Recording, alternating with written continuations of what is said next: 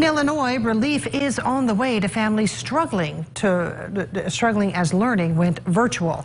Pandemic electronic benefits transfer or PEBT cards will soon start arriving in the mail. It will provide money for families whose children receive free or reduced lunch or school lunch. But to be eligible for the program, your child must be enrolled in the National School Lunch Program. If your address is up to date in the school system, there's no need to apply. And families will receive a card for each child.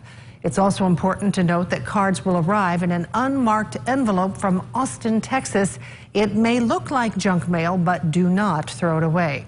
Benefits are issued every month between the 11th and 22nd, depending on your last name.